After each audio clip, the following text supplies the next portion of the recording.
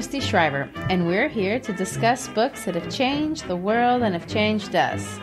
And I'm Gary Shriver, and this is the How to Love Lit podcast. I have to tell you that I am very excited about this series, maybe uh, more than any series we have ever done.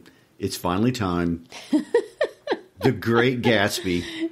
He has been excited. It is probably the most notable of all American novels. Uh, it's so short, it's so beloved, sometimes hated, and I'm very interested in how uh, this conversation is going to evolve. Uh, and you, Christy, I know you have a lot you want to say about this fairly short book. Well, that's true. It's probably my favorite book to teach out of all the books I teach, but it's not just me. This book is the gem that keeps on giving. English teachers, as lots of you know, love mining books for hidden meanings and symbols and all those things that students think that we make up. In fact, I have students read critical articles just to dispel the belief that I'm making it up as I go. well, as far as all that goes, are you suggesting that English teachers don't believe a cigar is just a cigar, you know, to use a Freudian reference. Right, we don't. That's it exactly. English teachers love looking for the subtext of things. What is the author saying through the details, metaphorical, literal? What is he or she wanting to suggest, or what direction or opinion are they, is the author nudging us towards that we may not even realize?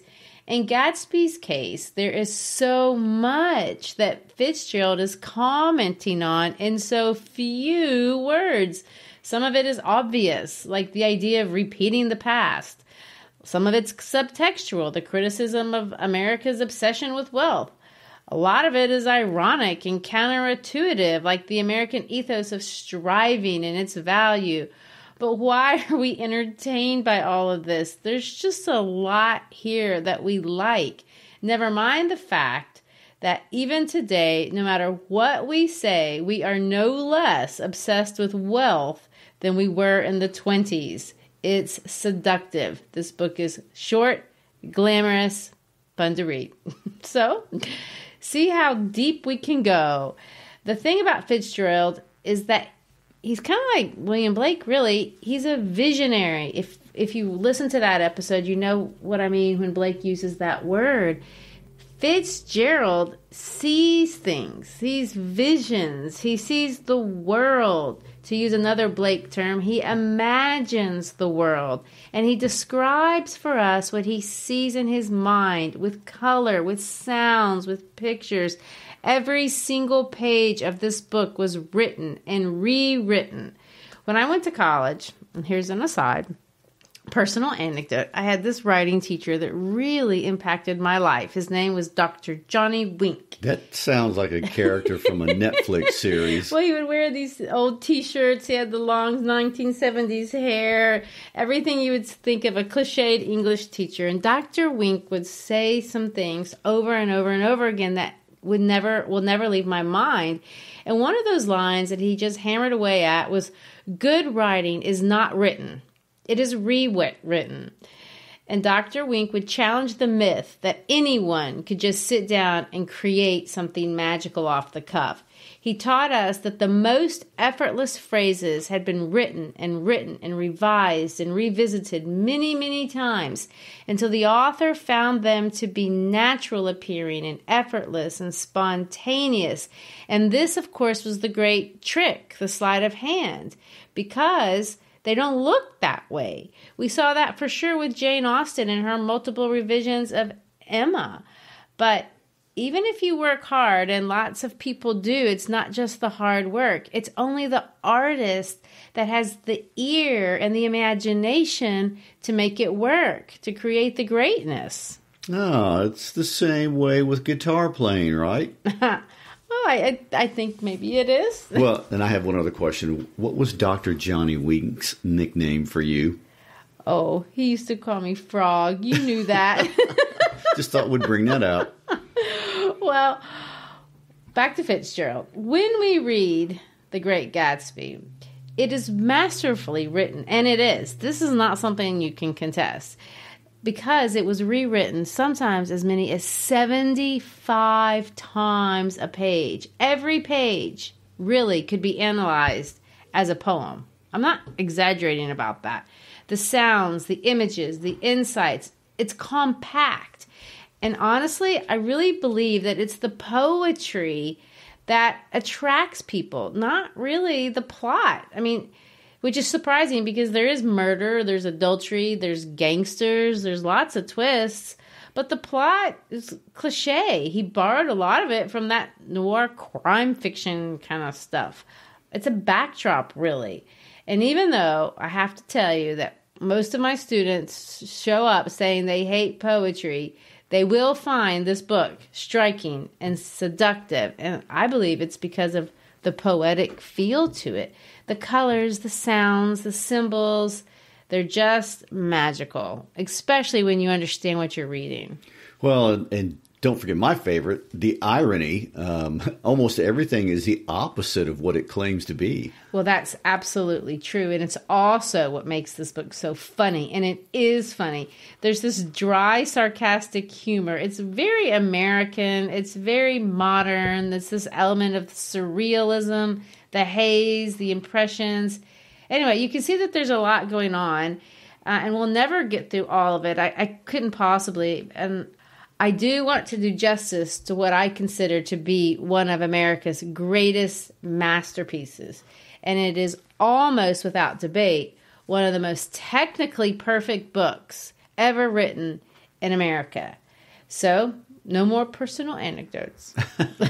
Let's just jump in to a little context. And I know we don't have time to get into a lot, but tell us about the era, the real people, because this book is based on a lot of that.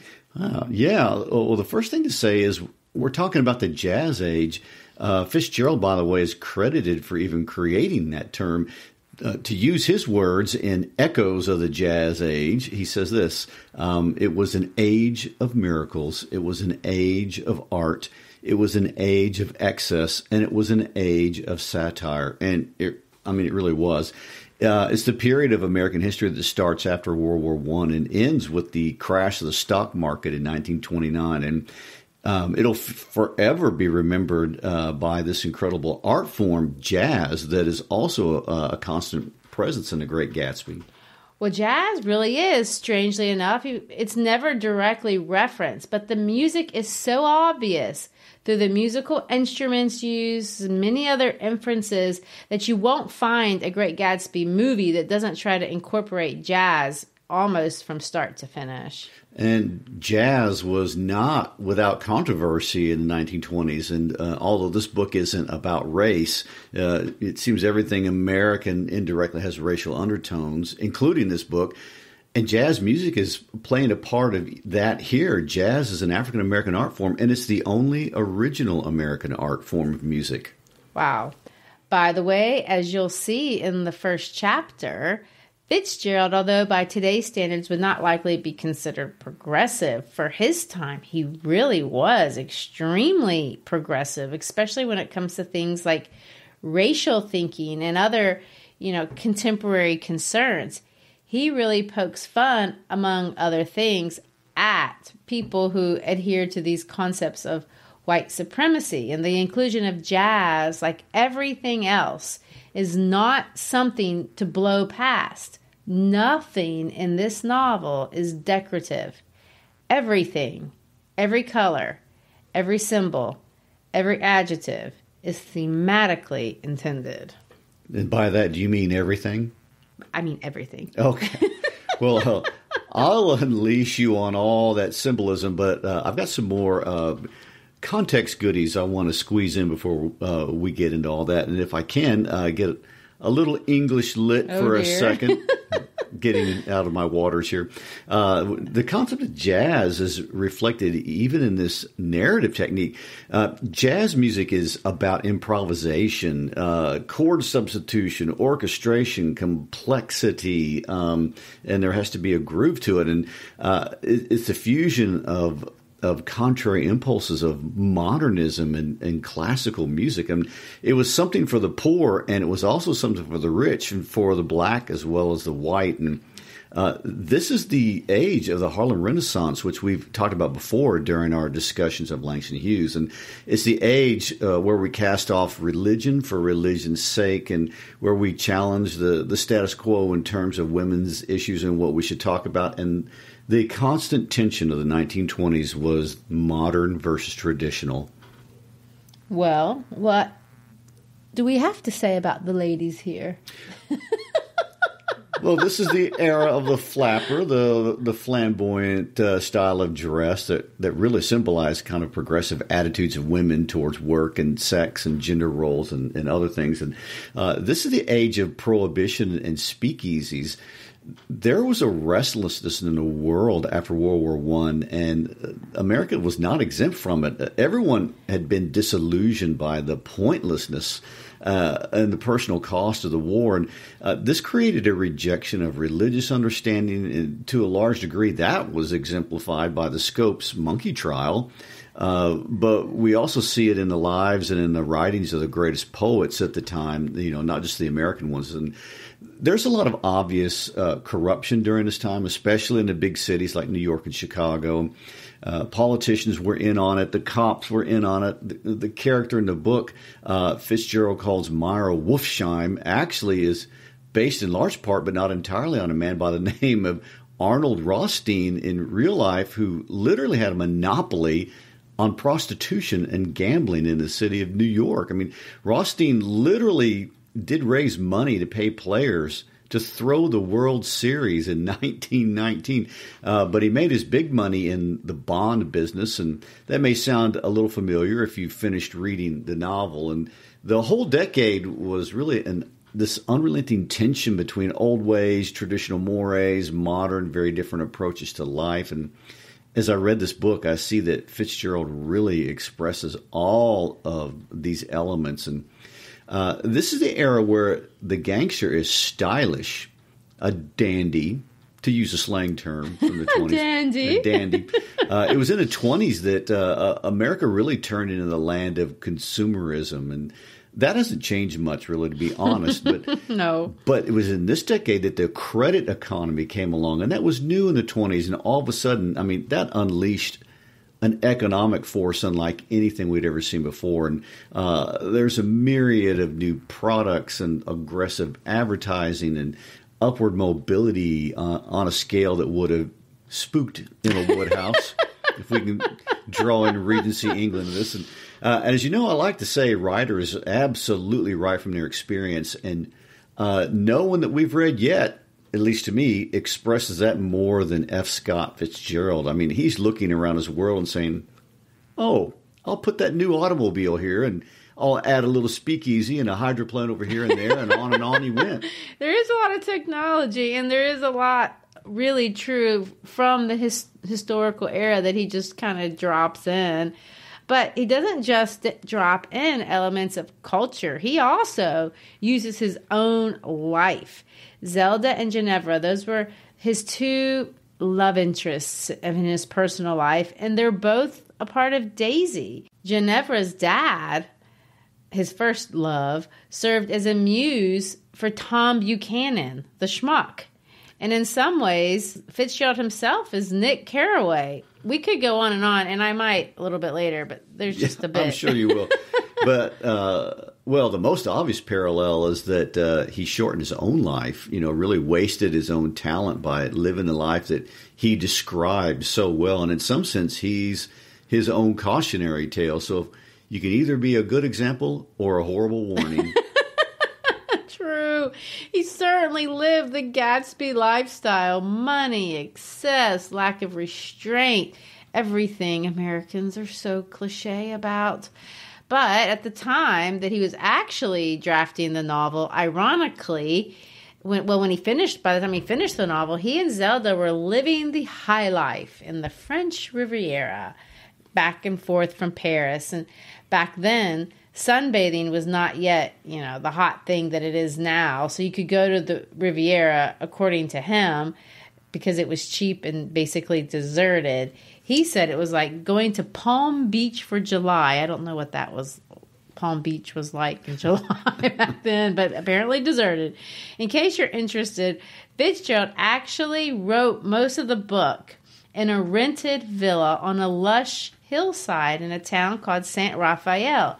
He called it, and I'm going to quote him, a little red town built close to the sea with gay red roofed houses and an air of repressed carnival about it. Repressed carnival. Uh, I mean, you can just tell he's talking. No one talks like that. uh, indeed. Uh, it, it's enchanting and luxurious. That little villa is a, a, beautiful hotel where for around, you know, 500 to 1,000. You mean today it is? Yeah, today. Uh, you, for about 500 to uh, 1,000 euros, you can enjoy um, a wonderful week in paradise. And uh, even though it seems uh, Fitzgerald never wrote while he was drunk, it was during this European phase where it appears he and Zelda let their drinking really get out of control. And uh, when I think of Fitzgerald, I think of just total drunkenness, crazy party pictures of him and Zelda in Rome and Paris and New York. And there are so many stories like them dancing around or jumping into the fountain of the Plaza Hotel or riding on top of a taxi. And some of them are destructive, like breaking plates in a drunken fit in Paris with famous expatriates like Ernest Hemingway. Uh, there's a lot of that. In fact, when I think about Fitzgerald, that's the kind of stuff that I think of. But that wasn't where he started. His real life, just like Nick in the book, started in the Midwest. Fitzgerald was born in St. Paul, Minnesota on September 24th, 1896. Anna, my daughter, says he has the best birthday. I guess you would since that's her birthday, except 102 years apart. True. But it's important because, well, not the date, but the place, because location is a thing in The Great Gatsby, and it's an important symbolic thing. Middle America means something. And really, this is something that we all know. For those of you who live outside of the United States, just like every other country in the world, we have a huge cultural divide between big city people of the coasts and smaller town people of the middle of the country. Almost all humans on earth understand this dynamic because every country kind of is divided out They like do. this. And if you listen to us for a while, you may know that Gary and I live in Memphis. And Memphis, we're in the middle of we're the middle people. New York, where the Great Gatsby is set on the coast. Now, this is a generality, but it's one that holds true and at least it's true for Fitzgerald. People that live on the coast consider themselves more sophisticated, more educated, more wealthy, and basically generally better in every way to those of us in the middle. in America, if you're a real coastal snob, you refer to us as living in the flyover zone because the only thing we do is get in the way and you have to fly over middle America to get from LA to New York and back again. We're the heartland, the place where traditional values are important. They mean something, they're to be upheld. And I know these are all generalizations, and I know there's traditional people everywhere, there are progressive people everywhere, and I'm not saying one is good and one is bad, but for the purposes of this discussion, we're going to have to stay with Fitzgerald's stereotypes. Well, and he's depending on them. yeah, know. he is. All of the main characters in this novel are from the middle of the country Nick, Daisy, Jordan, Tom, but most importantly, Gatsby. But The Great Gatsby is not just a symbolic novel, it's an ironic novel. Most everything in the novel is absolutely the opposite of what it appears to be, or really what it presents itself to be. And this is where we're going to get our head spinning. This is the thematic discussion that Fitzgerald is going to want to have with us. Well, I have one question. How many times do you have to read this book before you begin to detect that kind of stuff? You have to read the commentaries, or you may never. Oh, okay. but once you see it, then it's like really obvious. Okay, well, uh, uh, let me go back to our snobbery talk for just a moment because even on the coast, there are levels of snobbery. I mean, levels. We all have our levels. we all have our level. Fitzgerald lived in a place uh, called Great Neck, New York, specifically this little village called the Villages of Kings so Point. that's real life. He yeah, really, in yeah. real. Uh, in the book, he calls it West Egg. Uh, the next peninsula over is Sands Point. It only has about 2,700 residents to this day, and it's very posh. And The best 2,700 residents. it has boasted residents like Harry Guggenheim and William Randolph Hearst, John Philip Sousa, and of course Perry Como. And, uh, what I've always heard is that Gatsby is about the death of the American dream, uh, striving to be the kind of person you just described people who made something themselves, people who became famous, wealthy, and important. Uh, all things people are who live in places he's symbolizing with fancy villages in Long Island. I mean, are you going to disagree with that? No, but I'm not going to agree with it either. and the reason is I'm not sure what that means. What is the American dream and why is it dead? And I know that's a conversation for a history class on another day, but is it a dream just for Americans? And if so, why would anyone else want to read this book? I think the word to use here is striving. I want you use that word and I want to revisit that word because that's going to be a concept that is harped on in the book. It's in the striving that this book appears to transcend its own cultural context. Americans do embody that, but all Americans do. Austen's age was called the age of improvements. But what Fitzgerald has to say about this basic urge to push forward is interesting. He will bookend his book with this idea of pushing back, of striving. So let's read the first four sentences. But before we do, I do want to say one more thing. Try to enjoy the humor and don't let the dry irony offend you because he's going to say some ridiculous things and he means them ironically. He doesn't mean them, he means the opposite of them. There is a lot of this book that's supposed to make you laugh. And sometimes you laugh out loud, but if you were to ask other people, or if other, I guess I should say, if someone was to ask you, why are you laughing? And you said what it was, it wouldn't be funny because the line isn't funny. It's the context of the line that makes it funny. Well, and I want to add this point before we go on to reading it. Um, the American dream is really a straw man that critics of American culture use to beat up American culture with. Yeah, and that's kind of what exactly what he's going to be doing. Yeah. We could actually do a sentence by sentence discussion on all that kind of stuff, the the humor, the lines, the American dream. And there are people that would totally track with that. Did you know that this is another aside, but it's really interesting. There's a Broadway play called Gatz and it's 8 hours long. That does count a Ouch. dinner break and an intermission. They perform the entire book word for word. It's popular too. Right before the pandemic started, they were charging $125 a ticket up in New York to go see it. So, embrace the enthusiasm, embrace the irony, embrace the jabs at American culture and the American dream, and let's put on our snobbery.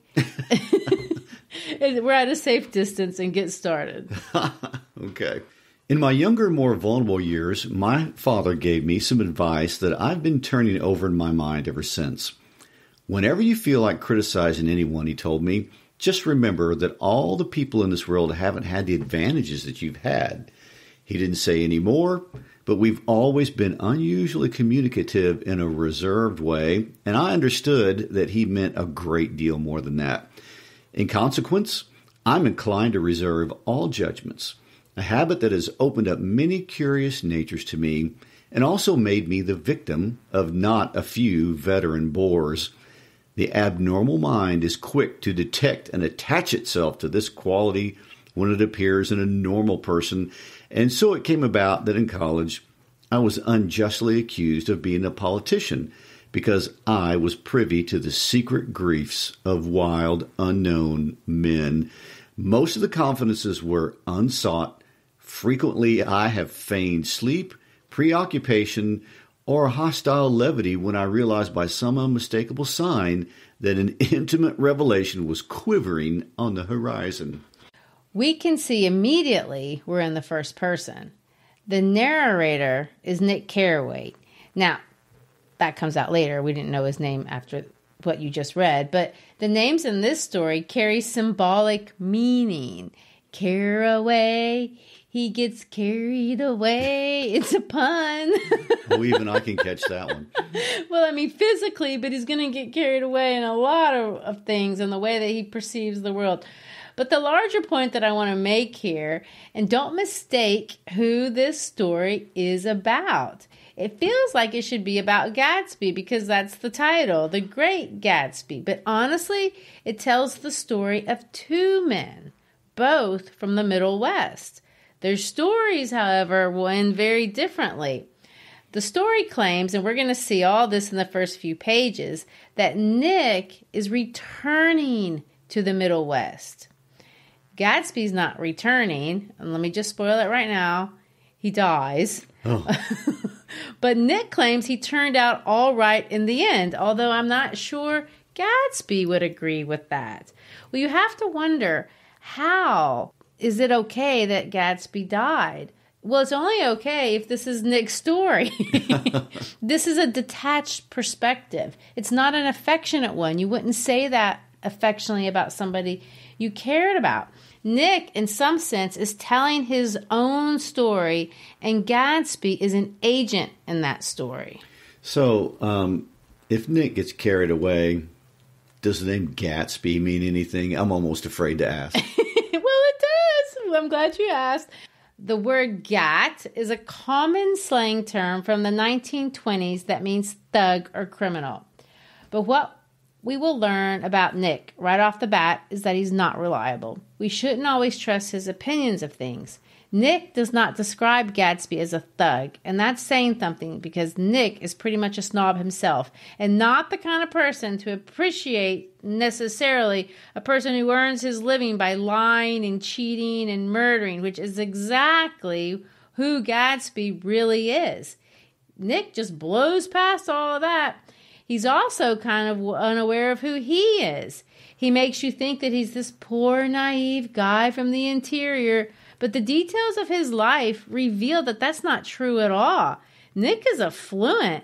His family has a successful business. They're well established. Nick graduated from an Ivy League school. He works in the world of finance in New York City. He's blue blooded in his own right, and that is a term we use here in the United States for our privileged class. He's not a gazillionaire like Tom Buchanan, but he's much wealthier than most of us. So we should be careful about how much we trust Nick's judgments. We can trust him for some things, but we shouldn't trust him for all things, although Fitzgerald does lead us to his own conclusions very fairly often. I know I'm getting confusing, so let me show you how this works right here from what he says. Nick claims to be the kind of person who doesn't judge people. And so we take him on his word on that. But if we thought about it for the rest of the book, that's really all that he does until we get to the conclusion in the end that Gatsby is worth more than all the characters in the story, which is what Nick literally says in chapter 8. This book is absolutely all about judging people and how we misjudge them or we judge them with wrong criteria we are going to join Nick, and judging these crazy people is going to obsess us from our very first encounter with their glamorous hideousness starting in chapter 1. But before we jump into Nick's perspective, Fitzgerald is going to give us the opportunity to catch Nick in his hypocrisy. Like you mean at the very next sentence where he says, he's a victim of people who are boring. I mean, I guess he is judging them. Well, he is, and that's mean. Calling people boring is what Emma Woodhouse said that got her in so much trouble. But look at the next sentence. He compliments himself, and then he says it's because he's slightly disingenuous that he gets accused of being a politician, which is exactly what he is doing. He's judgmental, he's political, he can be mean. Nick uses people. But really, kind of the way he phrases it is confusing. It can be because right after that, Nick goes on to do something that I find very entertaining, and he does it the whole way through the book. Nick makes pronouncements. All through the book, he has this tendency to just make these strong statements, these moral assertions. We call them maxims, and they're kind of quotable. He'll just make a statement like it's some universal truth that he's a lifelong guru in philosophy and made up, but he can't be. He's only 29 years old. Well, uh, Aristotle would say that uh, even though maxims or, or these quotable lines are a useful tool for public speakers, young speakers shouldn't use them because they don't have the experience to back them up and make them sound believable. Well, that is that's it exactly. And these aren't things that are necessarily like universal truths that should carry biblical weight. They're obviously prejudicial opinions that may or may not be true, things privileged people think, so to speak. But they're kind of interesting. So here's the first one, and they're like, there's they just go all the way through the book. But here's the first one. He's going to say this: intimate revelations of young men or at least the terms in which they express them, are usually plagiaristic and marred by obvious suppression. well, I mean, it's funny, but you have to read it a couple of times to figure out what it means and why why it's even true. I mean, I knew a young man once who uh, went to uh, our local university, took his first philosophy class, then came over and told me all these deep and newly discovered uh, truths about life and love and uh, that, that should change how all of us were looking at the world, and it should inform our thinking from here on out.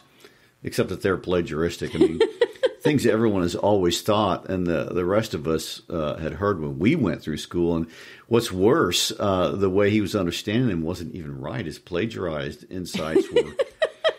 most definitely marred. And and here's a note to self: anytime you think you have uncovered a new secret of the universe, you need to assume that millions have made the same discovery that is before you. plagiaristic. Yes, you're not going to reinvent. But things. you know, you know that's the entire college experience. I mean, no one has ever had as heartbreak as badly as the one you're just having at this particular moment. No one has ever felt this pain. Uh, we we've seen it all. I mean, that's the entire growing up experience. We just go from level to level, and uh, it's new to me, so it must be new to the world.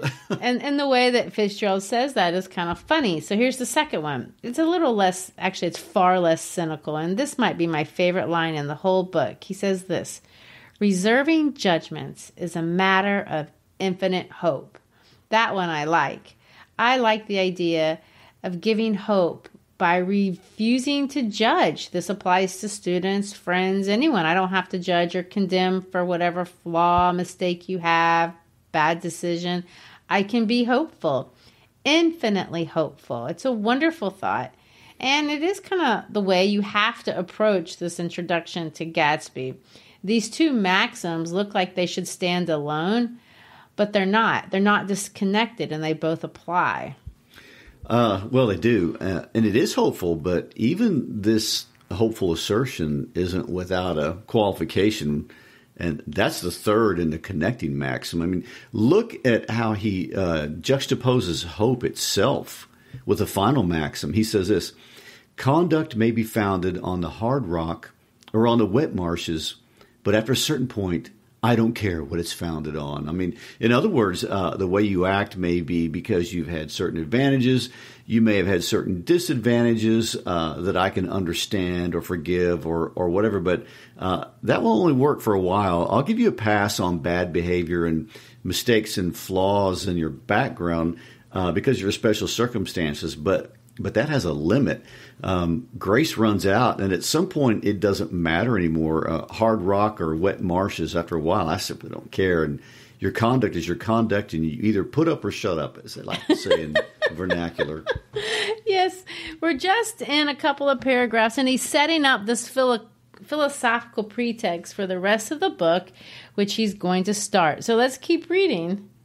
When I came back from the East last autumn, I felt that I wanted the world to be in uniform and at a sort of moral attention forever. I wanted no more riotous excursions with privileged glimpses into the human heart. Only Gatsby, the man who gives his name to this book, was exempt from my reaction. Gatsby, who represented everything for which I had an unaffected scorn. If personality is an unbroken series of successful gestures, then there was something gorgeous about him, some heightened sensitivity to the promises of life. as if he were related to one of those intricate machines that register earthquakes 10,000 miles away. This responsiveness had nothing to do with that flabby impressionability which is dignified under the name of the creative temperament. It was an extraordinary gift for hope, a romantic readiness such as I have never found in any other person, and of which it is not likely I shall ever find again. No, Gatsby turned out all right in the end. It is what preyed on Gatsby, what foul dust floated in the wake of his dreams that temporarily closed out my interest in the abortive sorrows and short winded elations of men. It's interesting, and you really do need to kind of reread it over and over again like it were a piece of poetry. It's extremely poetic. And it's about hope, which is ironic because Nick is telling this story in retrospect. There is no hope. The story's over. There's no suspense. He left the Middle West, went back east. Now he's come back to the Middle West. Gatsby's fate is already sealed. And like I said, spoiler, you might as well know Gatsby dies. or if you've seen one one of the what twenty versions of Great Gatsby's in the films, you would know. I didn't know it though when I read the book for the first time, to be honest. But and this is a novel about time. The clock is ticking. We already know what happens. There are over 450 references to time in the novel, and I'll talk about that a little bit later. It's one of the more important ideas in the whole book, and Gatsby trying to turn it back clocks will break. Uh, but Nick is aware of that, as are we here from the beginning. Nick leaves the Middle West, the traditional value of his early life. He's restless. But before we even find that out, we find out that he's come back. And look at what he says. I wanted the world to be in uniform and a sort of moral attention forever. We're reintroducing morality, consistency. These are things that you're not going to see, ironically, in any of the rest of the book and these privileged people that he talks about. We learn a lot about Nick before we meet the man to whom he gives the name of the story. Gatsby represented to Nick everything Nick hates, and we said that already. But what redeems Gatsby comes back to hope. Look at what he said an extraordinary gift for hope, a romantic readiness. Gatsby was willing to believe in a dream. It's what Nick finds and describes beautifully. And what has destroyed his hope, what has destroyed Gatsby, the agent of hope, what preyed on him was a foul dust. Pay attention to how Fitzgerald is going to play with that word. There's going to be dust all over this book and look at it because it has the power to close Carraway's hope in men. So, in this introduction that we're opening the story with, we're going to see hope, we're going to see judgment, we're going to f- try to figure out what the heck is this destructive dust. This book has nine chapters, all but one of them are pretty much equal length. The story is not told in chronological order, interestingly enough. It's told like a movie reel. Fitzgerald is writing at a time, and everyone knows this, that the cinema is just getting started. So this book is supposed to feel like a cinematic movie. It's a, I guess we would call it a cinematic style.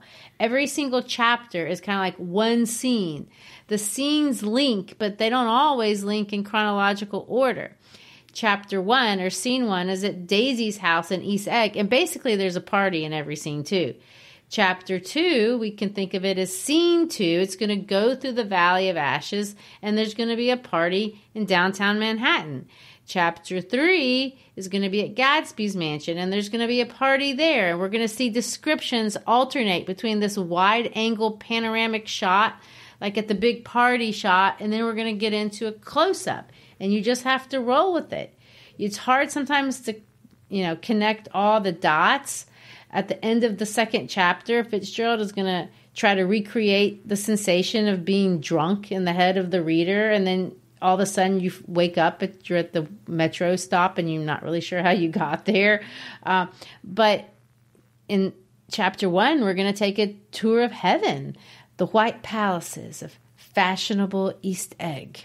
Well, for those of us who really want to visualize what this looks like, we're going to put some links of places where you can go to really get some visuals. And uh, there have been so many people that have fleshed this out, but I wanted to try to draw a picture for your mind, especially if you don't live in the Northeast of the United States. And so, Long Island is this very long island that runs parallel to the state of Connecticut. It's full of little towns and suburbs, but uh, towards the end, where the island kind of touches the mainland of the United States, that's where you find Manhattan. So East Egg is kind of uh, farther up Long Island than West Egg. And today, if you Google map it, uh, by train, it takes about two hours to get from East Egg to Manhattan, and uh, you'd have to go right through West Egg, and they're about nine miles away from each other, and they both kind of jet out into the bay. It is funny that he calls them eggs and tries to get you to visualize them from the sky but they're a world of way in terms of culture from each other. Apparently, that's how Nick perceives them. And we're going to be introduced this when we get to Daisy's house. So, Daisy's house, inside Daisy's house, everything is white and gold and red. So, you say, what does that mean? Well, it means everything because everything is a symbol. Should we brace ourselves for symbolism? yes. The girls wear white dresses. The windows are glowing now with reflected gold. The crimson rooms are flooded with white. And take this away for the remainder of the book. He's using the colors archetypally. Sometimes it doesn't even make sense because they don't describe something that could have a color. Uh, we've talked about archetypes and other stories. Sometimes they're used, well, they're always traditional ancient symbols that transcend American symbolism or any kind of one country symbolism. White, for example, archetypally is the color of purity. Gold archetypally represents prestige and wealth and knowledge. Red, that's a little bit more interesting, but it often represents love, sacrifice, passion, although it can also represent anger and sin. But here's the kicker, and this is what I want you to think about. Fitzgerald is going to take all these archetypes and suggest that this is what people are portraying, but they're actually the opposite of these things. Daisy appears to be innocent and pure, but she's actually not. Tom acts like he's wise, wealthy, and prestigious. He has gold hair, but he's not. He, they present an image of love and sacrifice in their house, but none of this is true. We're going to understand that this book is really about the opposite of that.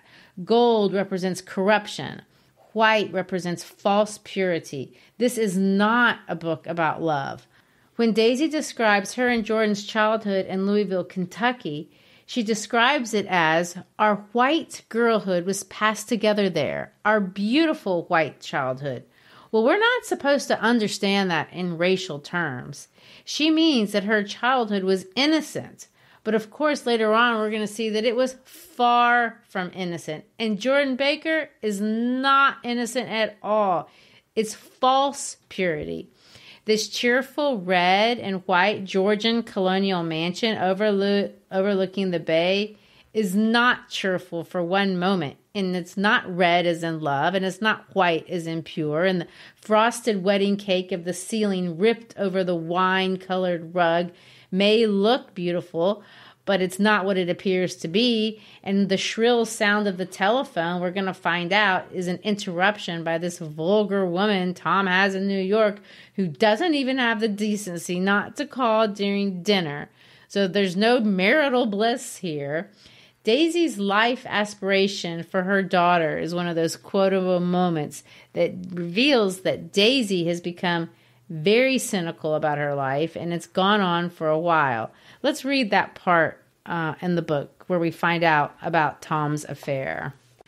The telephone rang inside startlingly, and as Daisy shook her head decisively at Tom, the subject of the stables, in fact, all subjects vanished into air.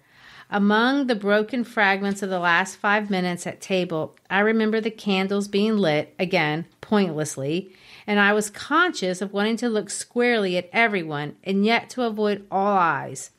I couldn't guess what Daisy and Tom were thinking, but I doubt if even Miss Baker, who seemed to have mastered a certain hearty skepticism, was able utterly to put this fifth guest's shrill metallic urgency out of mind.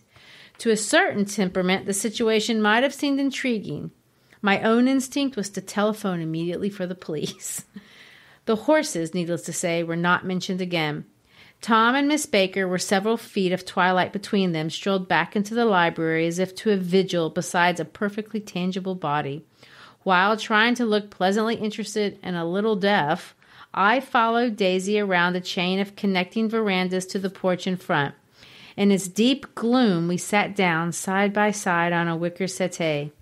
Daisy took her face in her hands as if feeling its lovely shape, and her face moved gradually out into the velvet dusk. I saw that turbulent emotions possessed her, so I asked what I thought would be some sedative questions about her little girl. We don't know each other very well, Nick, she said suddenly. Even if we are cousins, you didn't come to my wedding. I wasn't back from the war. Well, that's true. We've had a very bad time, Nick, and I'm pretty cynical about everything. Evidently, she had reason to be. I waited, but she didn't say any more, and after a moment I returned rather feebly to the subject of her daughter. I suppose she talks and eats and everything. Oh, yes. She looked at me absently. Listen, Nick, let me tell you what I said when she was born. Would you like to hear? Very much. It'll show you how I've gotten to feel about things. Well, she was less than an hour old, and Tom was God knows where. I woke up out of the ether with an utterly abandoned feeling and asked the nurse right away if it were a boy or a girl. She told me it was a girl, and so I turned my head away and wept. All right, I said. I'm glad it's a girl, and I hope she'll be a fool. That's the best thing a girl can be in this world a beautiful little fool. Isn't that one of Anna's favorite lines. It really is. It's... And by the way, uh, great job on the Daisy voice. I know. It's horrible. This line is horrible. Beautiful, but be rich and dumb so you don't know that you're being made a fool of. uh, that's a, a, far cry from uh, the heavenly quality of light and clouds and air everywhere else. And uh, there's so much about how this is described as bright, and uh, so much in like in terms of movement that doesn't make literal sense. I mean, how can the only completely stationary object in the room be an enormous couch, and how can the girls be buoyed up by an anchored balloon? I know it's just impressionistic. It's hazy. It's kind of literal but we're given this visual illusion that we're in heaven and we're just floating on these clouds and you know the the curtains are flopping and we shouldn't go unnoticed that the sounds are telling us something very differently than what we're seeing. Fitzgerald does a lot especially when it comes to daisy and we're talking about auditory imagery. Read the part where he describes what daisy well i would say look like but it, it's not what she looks like at all we don't know that it's what she sounds like I looked back at my cousin, who began to ask me questions in her low, thrilling voice. That's what I was doing, by the way. My low, thrilling, yeah, thrilling voice. voice. it was the kind of voice that the ear follows up and down, as if each speech is an arrangement of notes that will never be played again. Her face was sad and lovely, with bright things in it bright eyes and a bright, passionate mouth. But there was an excitement in her voice that men who care for her found difficult to forget a singing compulsion, a whispered listen, a promise that she had done gay, exciting things just a while since, and that there were gay, exciting things hovering in the next hour. And then it goes on to talk about Tom, and that's probably the funniest part of the book. He's so arrogant, so racist, so stupid. He doesn't even realize that even Daisy makes fun of that. It's just a lot of funny, subtle contextual humor. So hopefully, as you read it for yourself, you can see it. Watch the colors, watch the light, watch the irony, watch the humor. And I know our time is coming to an end and there's more to say. We didn't even get to talk about Jordan, but I guess we have to stop somewhere. I didn't want to stop though before we get to the end of the chapter, so I'm going to skip to there because I want to get back to Gatsby, the guy with whose personality is this unbroken series of successful gestures. This person who has something gorgeous about him, some heightened sensitivity of the promises of life that we never actually see him actually describe. But anyway, when we see him or when Nick sees him, he can't see him. He just sees the silhouette of him and he sees what he's doing. And if we read it, what we'll see is that Gatsby is stretching out his arms toward the dark water. He's trembling. Nick looks in the direction of where he seems to be yearning, and all Nick sees is a single green light. And yes, you guessed it. That's one more symbol. and that is where we will start next week. I think so. Well, thank you for listening. Um, I hope you've enjoyed our discussion of this great American novel. And if you have, please forward this episode to a friend so they can enjoy it too and we can grow. Uh, don't forget to follow us on Facebook, Instagram, LinkedIn if you aren't already, and stop by to chat and download a listening guide and go to our website, howtolovelitpodcast.com. We'll see you next week. Peace out.